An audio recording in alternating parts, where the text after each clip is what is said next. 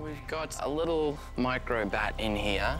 Got a funny little face. Oh, they're just so unusual. You're a little pterodactyl. Yeah, she- she's dispersed for some reason, or she could also just be sick. That's definitely what we need to investigate with this.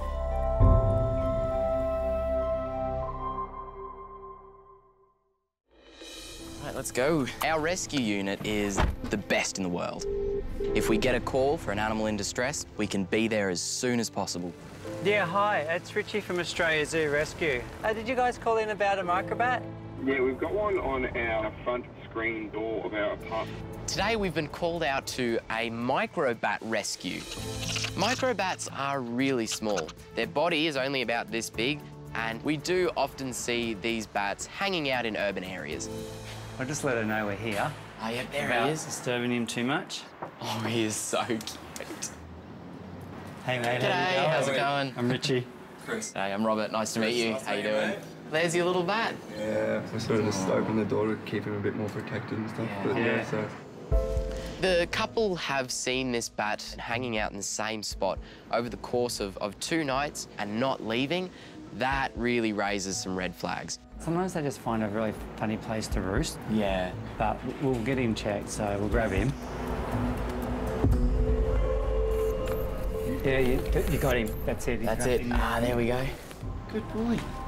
We're going to take him back to the wildlife hospital, get him on the table, and really give him a thorough check over.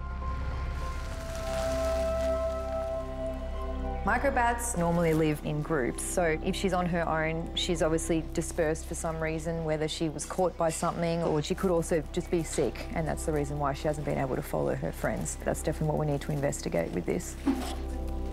They just look so delicate, don't they? They do. They're just so tiny. You're a little pterodactyl. Yeah, she- Look at your little feet. You're so cute. They're so weird, aren't they? Oh, they're just so unusual. Often we see them coming in with punctures to their membranes, but this one's membranes look nice and intact. Got a funny little face. And those ears are amazing.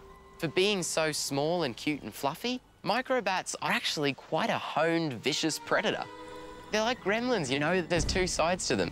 We have to think of a name. We have to think of a, a Batman-related name. I was thinking Gotham, but it's a girl. Gotham. Oh, that's a cool name. Can we- It's a tough name for such a little fluffy animal.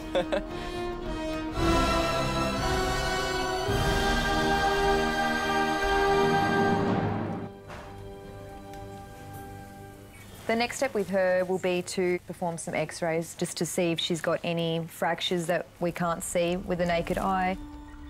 There's no weight to him at all. So I want to have a look to make sure that all of her bones are intact. I'll zoom right in and make sure that all of her little finger bones, which are all of these ones here, Yep. um, are all intact. Um, Eloise, on her right second finger, is there any swelling of the joint that you can see? So minuscule. Oh, yeah. Ludo has just spotted a little swollen area on one of the joints in the wing. We just had a closer look, and sure enough, there is a bit of swelling. The bone should look exactly like that one there does, so nice and thin, um, but you can see there's a lot going on in there. So would that have been affecting her flight? Definitely could have. Oh, yeah. wow.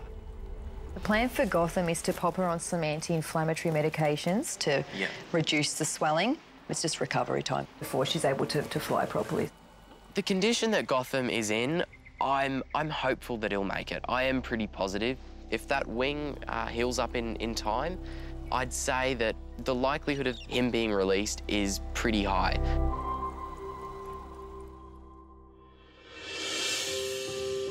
How's our little guy going? Oh, oh, there he is already, There we go. poking his little head out. Hello. It's a lot brighter than last time we saw him, that's for sure. Oh, yeah. He's been flying in like a nice little soft enclosure, Nice. so he should be fine to be released. Sounds good. So Gotham has gotten the all clear, and now comes the big moment. We have to do this release at a really precise time. Right in the place that we found him, when all the bats are coming out and starting to forage for little bugs and are swooping around. Just a little bit of light.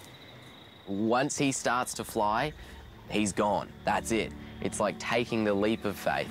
Okay, here we go. Oh, Oh, listen to him. he knows. Oh, look, there he is. Oh, back end first. It's all right, buddy. Back out. It's all right. There he is. Oh, Oh, he is beautiful. You're all right, little guy. I know. There he goes. Wow. That was quick. That's incredible. Yeah, he flew great. Wow. Isn't that amazing? All that, all that work for just a split second. Yeah. Not even a thank you. He's straight Oh. back out. That's Good good. work. First bat rescue for me. That's awesome. Getting this guy back out into the wild, it's the best feeling. He's flying perfectly, and finally a happy ending for little Gotham.